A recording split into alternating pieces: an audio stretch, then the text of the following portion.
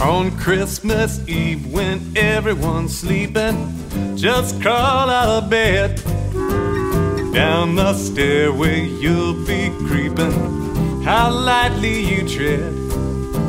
Sneak down to the fireplace behind the living room chair. Old Saint Nick will arrive right quick and won't even know.